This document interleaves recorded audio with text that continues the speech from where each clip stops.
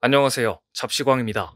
2014년 9월, 일본 정부는 야심찬 회의체를 만들었습니다. 이름하여 로봇 혁명 실현 회의. 거창한 이름을 가진 이 회의체에는 수많은 기업 대표와 지자체, 수장들이 포함되었고 이들과 몇 차례 대충 회의를 한 일본 정부는 곧 로봇 신전략이라는 거창한 프로젝트를 발표합니다. 이 프로젝트의 세부 내용은 이렇습니다.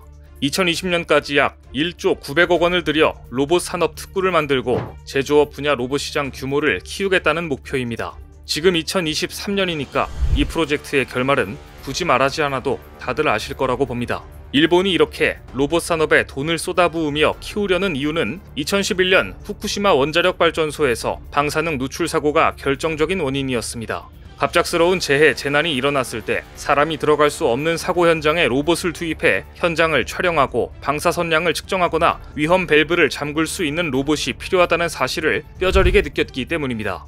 그런데 일본이 로봇 신전략을 발표하고 야심차게 로봇 산업을 키우던 2015년 미 국방부 방위고등연구기구가 주최한 재해 대응 인간형 로봇 국제 대회가 열렸습니다. 일본은 당연히 산업용 로봇으로 크게 앞서 있던 자신들이 1위를 할 것으로 기대했습니다. 그런데 뚜껑을 열어보니 1위는 생각지도 못한 한국 팀이 차지했습니다.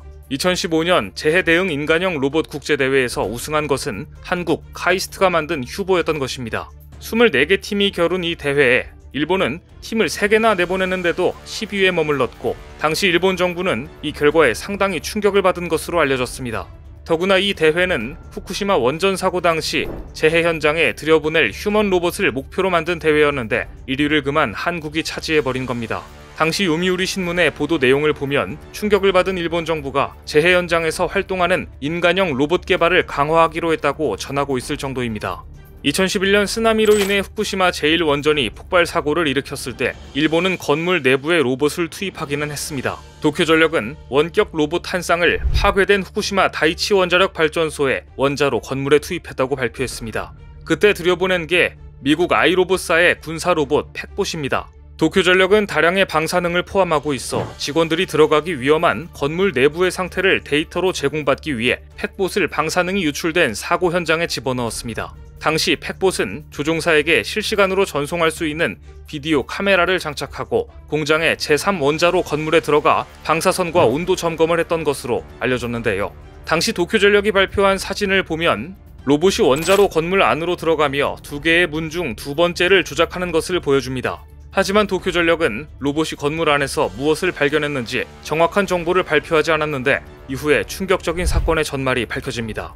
얼마 전 UCLA 기계공학과 교수이자 로멜라 로봇 연구소장인 데니스 홍은 한 TV 프로그램에 출연해 후쿠시마 원전 사고 현장에 들어갔었던 당시의 목격담을 전해 충격을 안겼습니다. 2011년 후쿠시마 원전이 사고를 냈을 때 더 큰 피해를 막기 위해 원자로 진입이 필요했지만 방사능의 위험으로 사람의 접근이 불가능했던 상황에서 일본 정부는 데니스 홍을 비롯해 몇 명의 과학자를 초청해 원자로 진입 임무를 맡겼습니다. 데니스 홍은 당시 이를 이렇게 회상했습니다. 목숨을 걸고 후쿠시마 원전에 들어갔다. 정말 무시무시했다. 삐삐같이 생긴 방사능 측정 장치가 있는데 삐삐 소리가 나면 놀라서 스톱하고 가다가 또 삐삐하면 스톱하고 엄청나게 무서웠다. 당시 데니스 홍과 과학자들은 현장의 영상을 보낼 수 있는 군사용 로봇 팩봇을 원전에 투입하는 실험을 진행했는데 로봇의 임무는 사고 현장을 카메라로 찍어 보내는 것이었지만 로봇이 들어가 카메라를 돌리니 갑자기 화면에 흰색 점이 보이기 시작했다고 합니다. 방사능 때문에 카메라 안에 있는 센서가 죽은 것이었습니다. 방사능이 얼마나 독했던지 로봇에 부착한 전자 회로를 순식간에 죽일 정도였던 것입니다. 다시 한번 돌려봤지만 마찬가지로 화면은 다 꺼져버렸고 결국 제대로 된 데이터를 전송받을 수 없었다고 합니다. 결국 후쿠시마에 투입된 로봇은 망가졌고 제대로 임무를 수행하지 못한 것입니다. 미국 드라마 체르노빌에서도 방사능 유출이 심한 곳에서는 현장 장비가 기능을 못했는데 후쿠시마 원전 현장도 마찬가지였습니다. 나중에 밝혀진 바로는 실제 사고 현장에 투입된 로봇들은 실패의 연속이었고 미국산 로봇 및 일본산 로봇이 원자로 건물 안에서 통신이 두절된 채 지금까지 미아 상태에 빠져버렸다고 합니다. 2011년 당시 후쿠시마 다이치 원자력 발전소에는 14m 높이의 쓰나미가 덮치고 냉각 시스템이 손상되어 수소 폭발이 일어났습니다. 폭발 이후에는 원자로 건물 3곳이 손상됐고 주변으로 방사능 오염을 확산시켰는데요.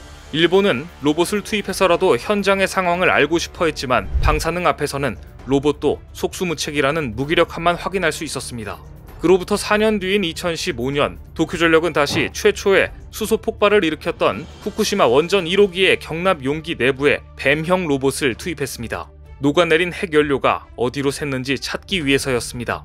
하지만 이 로봇도 투입한 지 3시간도 되지 않아 작동 불능 상태에 빠졌습니다. 이처럼 후쿠시마 원전 사고는 로봇에 대한 대중의 환상과 현실 간의 괴리를 가장 여실히 보여줬던 사건이었습니다. 이 같은 실패는 전 세계 로봇 공학자 모두에게 낭패감을 안겨주었습니다. 그래서 미국 방위고등연구계획국에서는 그에 대한 해답을 찾기 위해 재난구조 로봇 경진대회를 만들었습니다. 그런데 지난 2015년 일본을 제치고 한국의 휴보가 우승을 차지한 것입니다. 도쿄전력은 여전히 원자로 내부의 오염 상태와 녹아내린 핵연료가 어디에 어떤 상태로 있는지 정확히 파악하지 못하고 있습니다. 아직도 핵연료 파편의 정확한 양상을 파악하기 위해 이런저런 로봇을 투입해보고 있지만 성과는 없습니다. 일본 언론의 보도에 의하면 뱀형 로봇이 제 역할을 하지 못해 빙어형 로봇을 투입했으나 소득이 없었고 나중에는 청소 로봇까지 투입했지만 탐사를 시작한 지 2시간 만에 손상된 것으로 알려졌습니다. 이쯤 되면 후쿠시마는 거의 로봇 공동 묘지가 된 것으로 보이는데요. 도쿄전력은 폐로 안에서 고장나버린 로봇 회수를 포기했고 원격 조장용 케이블까지 절단해버렸습니다. 청소 로봇의 실패로 피해 상황을 조사하기 위해 투입한 전가령 로봇은 진입조차 하지 못해 굴욕을 남겨줬습니다. 청소 로봇이 손상된 원인 역시 고준위 방사선 때문이었습니다. 이 로봇에는 방사선량을 측정할 수 있는 선량계가 달려있지 않았지만 카메라로 촬영된 영상을 분석한 결과 후쿠시마 원자력 2호기 원자로의 경납 용기 내의 방사선량은 530시버트에서 최고 650시버트로 추정됐습니다.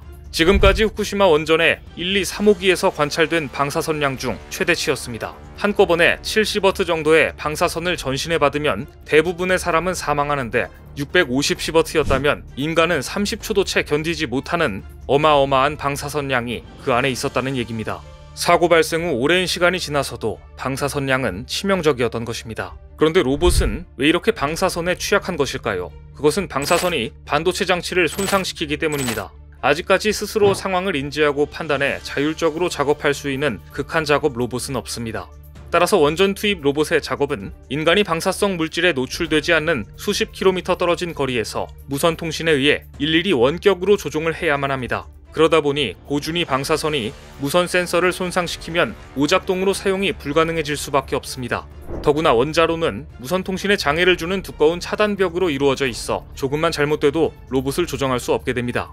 심지어 나중에 밝혀진 바로는 후쿠시마 원전 사고 작업용 로봇을 이미 보유하고 있던 일본이 사고 즉시 로봇을 투입하지 않아 비난을 받았지만 실은 로봇은 있었으며 원격 조종을 제대로 할 수 없었기 때문이었던 것으로 밝혀졌습니다.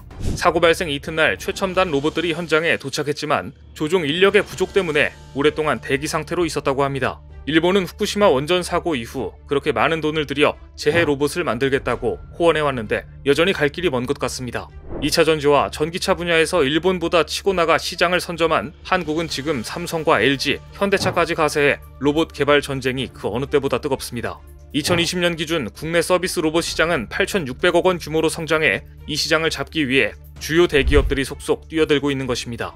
삼성은 운동 보조 웨어러블 로봇 젬스를 시작으로 서비스 로봇 분야를 정조준하고 있고 LG는 바리스타봇, 가이드봇 등을 출시한 바 있습니다. 누구보다 산업용 로봇에 관심이 많은 현대차는 보스턴 다이나믹스의 사족 보행 로봇 스팟을 기아 광명 공장에 투입해 공장 안전 서비스를 지원하는 목적으로 시범 운영 중입니다. 이처럼 한국은 일본보다 늦게 로봇 개발에 뛰어들었지만 과감한 M&A와 한국 특유의 섬세함으로 이미 로봇 분야에서 일본을 넘어섰습니다. 오늘 준비한 소식은 여기까지입니다. 댓글을 통한 여러분들의 많은 의견 기다리겠습니다. 시청해주셔서 감사합니다.